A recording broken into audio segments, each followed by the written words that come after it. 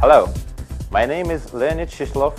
I work in Intel IT as a data center manager and I do support a few data centers in Russia and Eastern Europe. And today I'm going to show you one of Russian data centers. Let's go. And today I'm going to show you Russia Hub, a data center where we consolidate all the compute power to be used for software developers for whole Russia and the access to this secured room starts with a turnstile. Let's go with me.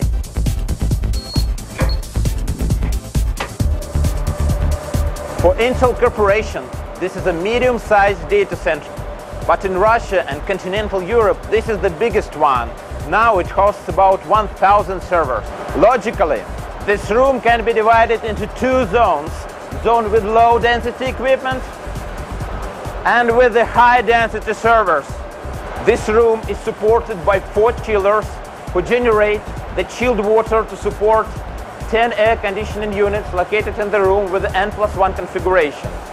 They distribute a cold air through the raised metal floor to the racks of servers and the most critical parts of the whole cooling system connected to the UPS. For cooling efficiency, we have hot and cold aisle design here. Each server rack has independent connections to four power distribution units in the room, which are connected to the UPS with N plus 1 configuration.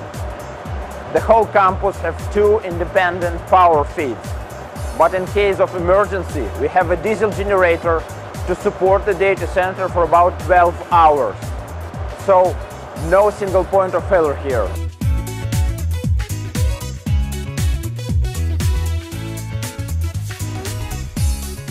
But the most interesting in this data center is couple of unique and innovation energy efficient technologies. One of them is air economizer. During the winter time, we do not run our chillers at all and cool our servers using outside air. It gives us a huge saving during winter time.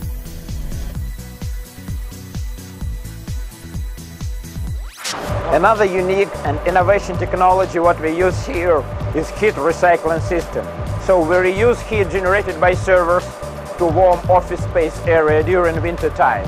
This is a very important green technology.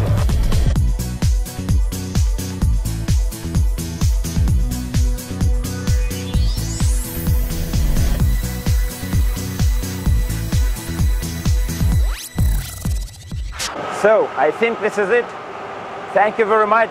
Hope you like this journey. Bye.